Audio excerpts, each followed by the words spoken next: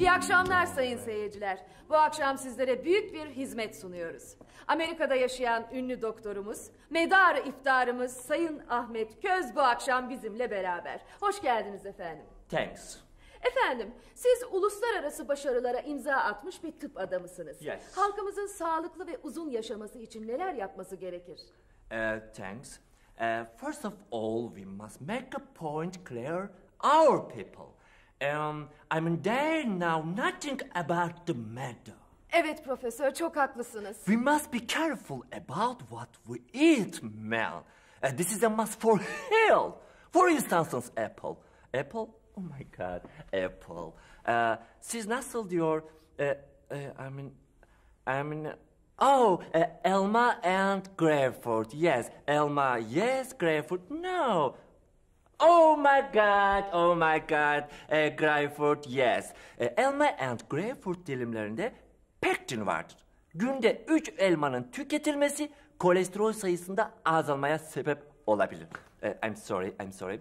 Anlıyorum efendim. Uh, uh, three apples day. Ya Nuts, man, nuts. If you want a healthy life, you must eat nuts. Nuts, I mean eat nuts every day. harika. Ee, bir de walk diyeceğim ben. Yürümek, Um, yürümek. Oh yeah, yürümek is wonderful. We must walk every day. Yürümek is very important. Yes. Efendim sizin gibi büyük bir doktoru bulmuşken hemen bırakmıyoruz tabii. Başka ne gibi önerileriniz olacak? Her zaman sizin gibi büyük bir doktorla konuşma şansımız yok. Lütfen bizi aydınlatır mısınız? Omega 3 yağ asidi olan alfa linolenik asit man. Um, um, um, this is a very important point. A vitamini, çinko and selenium. Don't forget to eat nuts every day.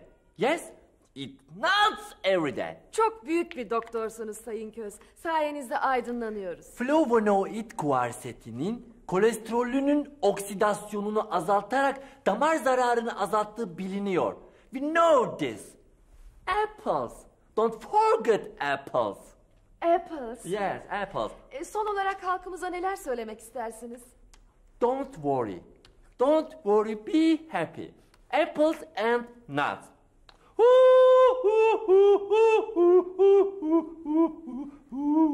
Kaçıncı hasta bu? 29. Nesi var? Böbrek. Pekala. Narkoz, Yok doktor bey. serum, Kalmadı doktor bey. bisturi, Yok doktor bey. pens, Yok doktor bey. Tampon. Ay olsa dükkan senin doktor bey. Bir halt yok mu lan bu hastanede? Ay beni bulduğunuza şükredin doktor bey. Ben de kuaförde iş buldum. Bu hafta istifa edip oraya gideceğim.